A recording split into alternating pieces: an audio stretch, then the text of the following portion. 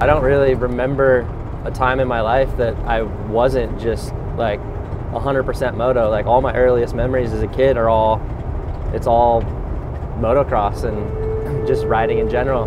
The second that I was like two years old, we pulled the training wheels off my little bicycle and I just went ripping down the driveway and like never looked back.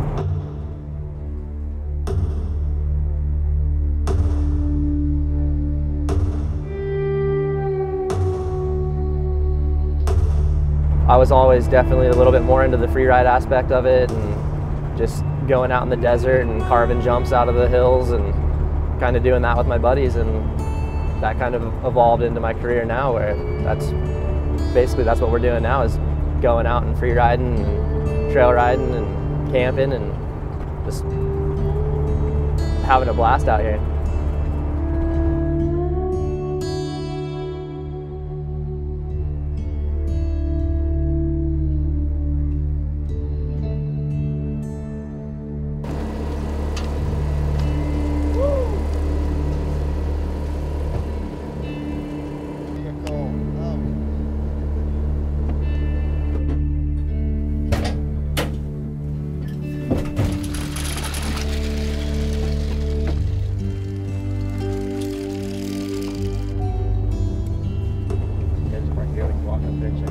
That'd be a big one, but it'd be sick. Just sketchy run out. I've been riding pretty much my whole life. My dad rode, so I grew up going riding with my dad, my brother, and we were riding all the time. We did it for fun, but then we started chasing the racing and you know doing doing the racing stuff, and that's you know that's kind of where my career took me was to racing Supercross and doing doing that stuff. But I really do enjoy getting out and really just going on a soul ride and kind of not having anything to think about, not chasing the lap times. You're just kind of riding for yourself. It was cool to get out here and just have no direction, no, you're just kind of going wherever you want to go. Say hello to everyone at camp.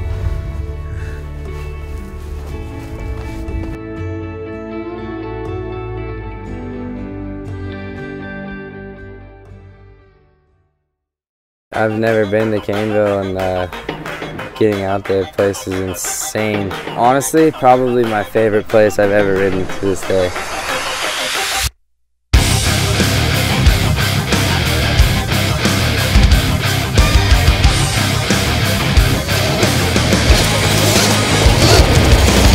I've been to Ocotillo and stuff. It's like Ocotillo on steroids. Like for as far as you can see, this like beautiful landscape. You know, kid in the candy store. I'm like, oh look, jump there, jump there, jump there.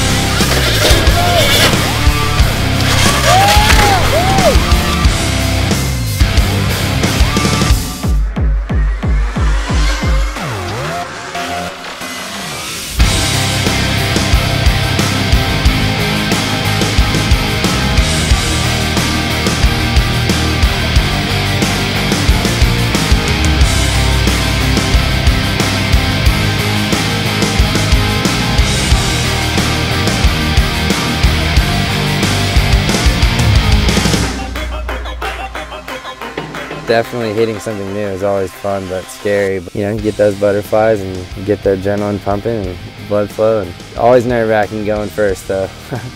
I'm a little nervous in the gap. That's a pretty good one. Is Tyler gonna go for it?